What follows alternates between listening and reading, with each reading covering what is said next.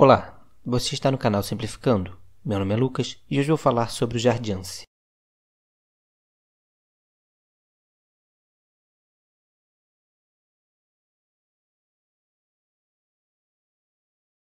O Jardiance é um remédio que contém emplagliflozina, uma substância indicada para o tratamento da diabetes mellitus tipo 2, que ajuda a controlar o açúcar no sangue e que pode ser usado isoladamente ou em combinação com outros remédios.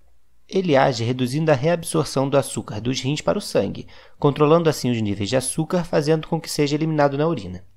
Além disso, a eliminação de glicose na urina contribui para a perda de calorias e, consequentemente, perda de gordura e peso corporal. A eliminação de glicose na urina observada com jardiance é acompanhada de aumento discreto do volume e frequência urinários, que pode contribuir também para a redução da pressão sanguínea. O tratamento deve ser acompanhado de uma dieta equilibrada e prática de atividade física regular, de forma a haver um melhor controle da diabetes. Alguns dos efeitos colaterais mais comuns que podem ocorrer durante o tratamento com jardiance são infecções genitais, frequência e volume de urina aumentados, coceira, reações alérgicas de pele, urticária, infecções do trato urinário, sede e aumento de gordura no sangue.